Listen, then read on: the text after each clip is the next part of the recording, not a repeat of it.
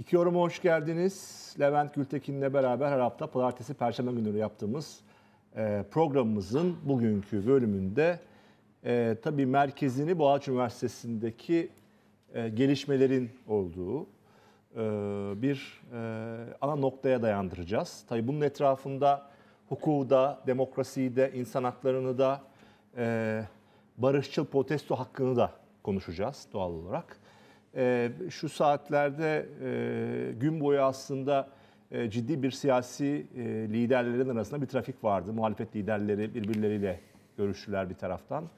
E, bir taraftan Cumhurbaşkanı'yla MHP Genel Başkanı Evet Bahçeli'nin bir görüşmesi vardı. Sanıyoruz konunun ağırlığı anayasa değişikliği talebi e, ya da bu iki ortağın yaptıkları e, anayasa ile ilgili çalışmalar ama esas şu saatlerde Anayasa Mahkemesi Başkanı Zühtü Aslan'la Cumhurbaşkanı Erdoğan karşı karşıya gelecekler.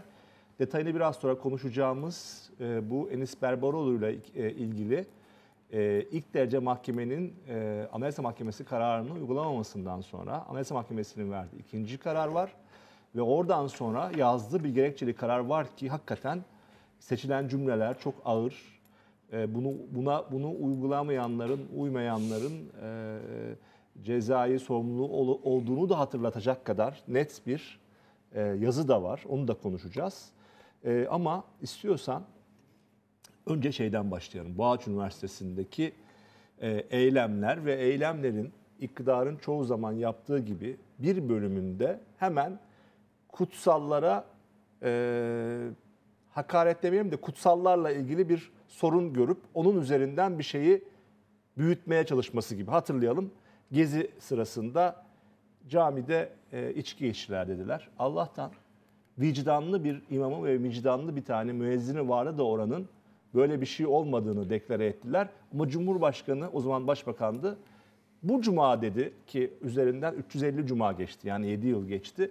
Görüntüleri vereceğiz demişti. Öyle bir görüntü yok. Ya da kısa bir süre evvel işte İzmir'deki e, caminin hoparlöründen bir şarkı çalınması. Bununla ilgili hemen muhalefet, CHP e, e, hedef gösterilmişti. Orada bir şey olmadı ama esas belki özünü konuşmak lazım. Yani hani kutsal nedir? Nasıl davranılır kutsala ya da nasıl bakılır? E, sen de başlayalım Bence istersen. de kutsal meselesi giderek Türkiye'nin canını sıkacak bir boyuta geliyor. Fakat kutsal meselesine girmeden önce sevgili Murat müsaade edersen kendimle ilgili küçük bir izahat yapmak istiyorum. Kendimle ilgili derken bu son bizim bu geçen haftaki programdan sonra bu hani Mehmet Ali Çelebi ile ilgili CHP'den istifa eden milletvekili ya bir milletvekili kendi partisine PKK'lı deyip istifa eder mi gibi eleştiri yaptıktan sonra genel olarak böyle gardırop Atatürkçüsü dediğim kesimlerin sıklıkla böyle bir benim bir 5-6 tane Bundan 6-7 yıl, 8 yıl önceki 6, toplasan 6 tane tweetim. Onları dolaştırarak benimle ilgili böyle bir algı çalışması yapıyorlar. Aslında bu onları ciddiye alıp yaptığım bir açıklama değil. Özellikle altını çizerek söyleyeyim. Onların işte bir grup kendini şey zanneden. Bazı okurlarından şöyle talep geldi. Abi kafa karışıyor insanların seninle ilgili. Bununla ilgili birkaç şey söylesen iyi olur diye onların isteklerini yani o kafa karışıklığını. Yani biz izleyen izleyicilerimin şunu bilmesini istiyorum. Ergenekon ve Balyoz davalarının başından beri karşısındaydım. Yazılarım duruyor. Hepsi duruyor. FETÖ meselesine 2010'dan itibaren en sert, en ağır yazıları yazdım. Onlar da duruyor arşivde. Google'da ararsanız hepsi çıkabilir. O tweetler tamamen ironi, bağlamından koparılmış, bambaşka anlama gelebilecek. Alt alta diyelim ki 5 tweet yazmışım, birini almışlar. Öyle bir sorun var orada. O yüzden e, kafası karışacak olan izleyicilerimize sadece böyle bir izahat yapmış olayım. Yoksa diğer e, bu gardırop Atatürkçü dediğim ulusalcı kesimin yapmış olduğu kampanyaları zerre kadar umursamıyorum da ilgilenmiyorum da. Şimdi gelelim bu kutsal meselesine. Sevgili Murat bu kutsal meselesi beni biraz endişeye düşürüyor. O da şöyle, bu çok ucu açık bir tartışma konusu. Yani kutsal diye bir şey ortaya atıp onun üzerinden yargıyı harekete geçirmek, bırak ifade özgürlüğünü bambaşka bir noktaya doğru sürüklenmesi demektir Türkiye'nin. Bir kere kutsal nedir? Bunu bilmiyoruz. İki canımız istediği her şeyi, her şeyi ama kutsal tanımı içerisine koyup bir cadı avı başlatabiliriz. Yani neredeyse orta çağdaki Engizisyon mahkemeleri gibi bir tablo çıkıyor ortaya. İşte Boğaziçi Üniversitesi'nde Kabe'nin portresi şeyi, afişi yerdeymiş diye ki Kabe afişi de değil. Bir yani bir afiş duruyor yerde. Kimin koyduğu belli değil, ne olduğu belli değil. Tam olarak bir Kabe içinde başka bir afişin içinde bir yerinde bir Kabe görüntüsü var. Şimdi aslında şu soruyu kendimize sormamız lazım. tamam Kabe diyelim ki kutsal. Hani onunla şimdi tar- tartışma açacağım da. Diyelim ki Kabe kutsal. Kutsal olan bir şeyin afişi niye kutsal olsun ki mesela? Bunu kimse bu soruyu sormuyor. Bir dakika arkadaş kutsal ne? Nedir tam olarak kutsal? Şimdi kutsal dikkat ediyorum insanlar böyle dini bir anlam yüklüyorlar. Halbuki kutsal dediğimiz şu, şudur. Benim kutsallarım nelerdir?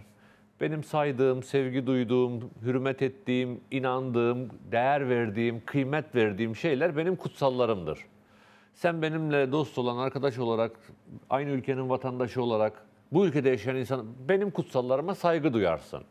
Duymazsan en fazla şunu derim, ayıp ediyorsun. Budur. Çünkü benim saygı duyduğuma saygı duymak zorunda değilsin. Ama benim saygı duyduğuma, saygı duymak benimle olan ilişkinin bir şeyidir, temelidir. Şimdi Kabe kutsal. Niye kutsal Kabe? İslam'ın neresinde biz taşa mı tapacağız? İslam ilk geldiğinde Kabe'nin içerisindeki putları kırarak, taşları kırarak ortaya çıktı. Kabe'yi kutsal yapan oradaki dört duvar taş değil. Kabe'yi Müslümanlar için kıymetli yapan oranın uhrevi anlamıdır.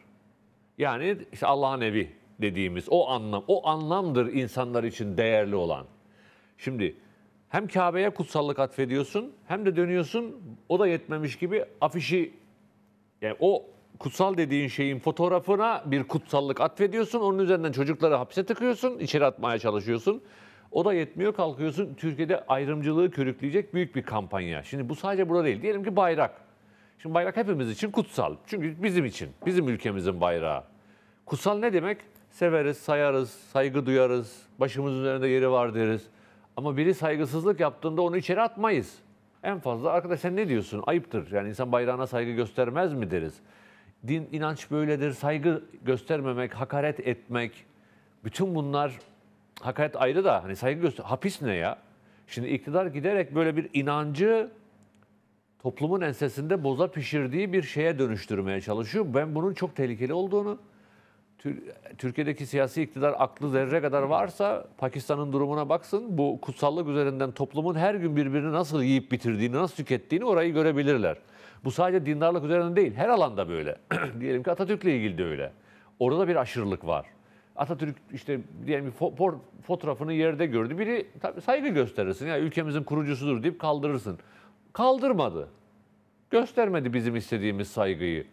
Veyahut bir hoşumuza gitmeyen bir cümle etti. Hapse atmak, hakkında soruşturma açmak. Çok ayıp bir şey bunlar. Bunlar bunlar çok çağ dışı kalmış. Çok orta çağ dü- dünya. Geldiğimiz dünya bu bu yaklaşımda bu dünyanın ya bu 21. yüzyılda böyle şeyler böyle kendi kendimize yani mesela ben şimdi buna kendi kendime diyebilirim. Benim için bu bardak kutsal. E ne yapacaksın sen şimdi bardağa habire saygı mı göstereceksin? Herkes kendine bir kutsal yaratıyor.